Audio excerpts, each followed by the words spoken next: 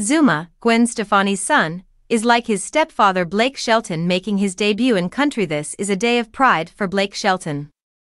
The middle kid of Gwen Stefani is starting his own musical path by learning from his stepdad, the second son of Stefani and her ex-husband, Gavin Rossdale, Zuma, 15, made his bold debut as a country music performer on July 29 at Ole Red in Tishomingo, Oklahoma.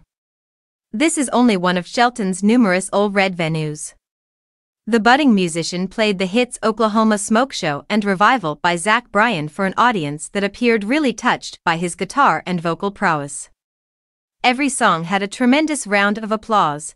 The teen's low-key demeanor and voice are ideal for the nickname Cowboy Zuma, which was given to him by one of the most popular comments on the video.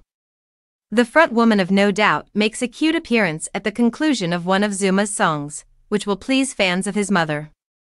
As Stefani watches the audience's response to her son's performance, she smiles and applauds. With some very unique musical DNA passed down to him, and Shelton's own choices obviously having an impact on the young guy, Zuma's possibilities are virtually endless. Who knows, maybe Zuma may be on The Voice in the future. Unbelievably, Zuma is following in the footsteps of his elder brother Kingston, 18, who played at the same Ole Red venue in Oklahoma over a year ago. Stefani's youngest kid is 10 year old Apollo. Shelton guaranteed a memorable evening for everyone who visited Ole Red on August 11, 2023. Once he was on stage, Stefani joined him for a brief performance of Don't Speak before he brought his eldest stepson to the stage for the evening's big moment.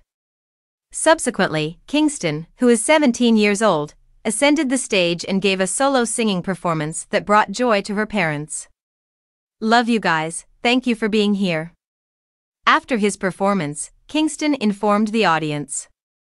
Thank you, it means everything to me, really. The best part was when Shelton came out on stage with Kingston to give his stepson the greatest embrace imaginable. For those who love music, it was an amazing evening, but for the family, it was much better.